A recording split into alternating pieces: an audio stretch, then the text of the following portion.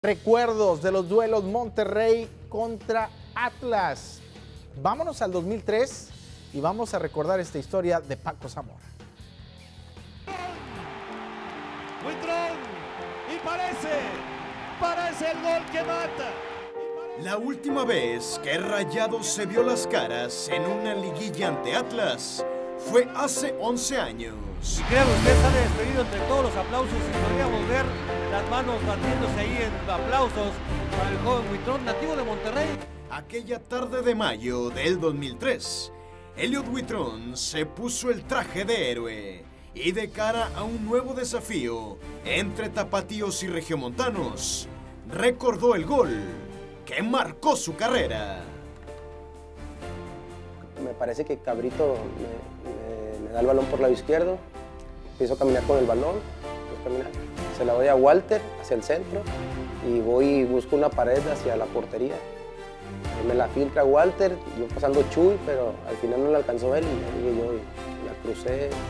De hecho, cuando la pegué nada más vi que estaba dentro del balón.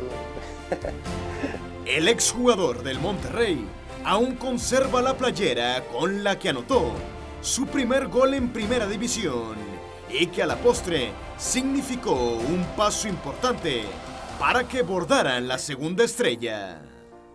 Pues esta playera es este, contra el partido contra Atlas, se la regalé mamá después del partido. Pues significa mucho para mí, por eso la regalé quise. Para mi mamá, con mucho cariño, de su hijo del Sí, ahí este, me ganaron las lágrimas, ahí estaba el Guille, este, Reviti y Alex Fernández y el Cabrito también, que ahí me agarró para no ir a festejar. sí, hay mucha gente, de hecho se acuerdan de, por el gol de, contra Atlas y dicen que mucha raza dice, por ti salimos campeones, pero obviamente todavía seguían más partidos en, en la liguilla y...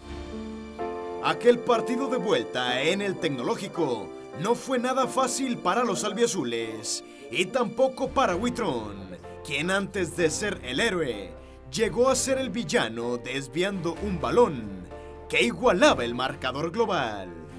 Esa vez este, yo no estaba en la barrera, estaba a un costado y dispara creo que Juan Pablo y la desvío y sí me sentí bien mal, eh, desviar un gol hacia tu portería.